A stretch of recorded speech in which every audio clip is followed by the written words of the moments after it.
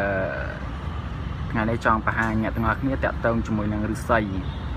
ឫស្សីមានច្រើនមានច្រើនប្រភេទហ្នឹងហើយឫស្សីនេះមាននប់អស័យមានអស័យភ្លោះនិងមានឫស្សីជុំហ្នឹងហើយហើយនៅមានឫស្សីដោះលើឫស្សីហ្នឹងហើយថ្នាំងវាចុងល្អឃើញទេហ្នឹងហើយអឺនៅក្នុងមួយប្រអប់នេះមាន4មាន4មុខនៅក្នុងនឹងតែម្ដង មើលទៅវារៀងជាអៀតបន្តិចហ្នឹងហើយប៉ុន្តែវាមានគ្រប់នៅក្នុងនេះមាន4តែម្ដងនប់មួយ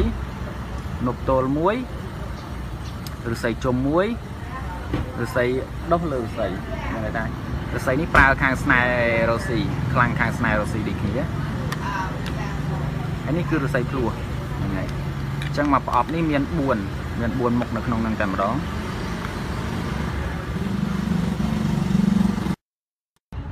ហ្នឹងហើយអឺថ្ងៃនេះចង់បង្ហាញអ្នកទាំងអស់គ្នាតាក់ទងជាមួយនឹងឫស្សីឫស្សីមានច្រើន មានច្រើនប្រភេទហ្នឹងហើយឫស្សីនេះមាននប់អស័យមានអស័យភ្លោះនិងមានឫស្សីជុំ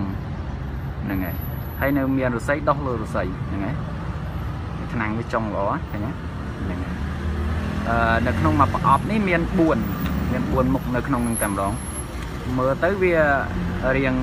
ជាអៀតបន្តិចហ្នឹងហើយប៉ុន្តែវាមានគ្រប់នៅក្នុងនេះមាន4តែម្ដងនប់មួយនប់ទល់មួយឫស្សីជុំមួយ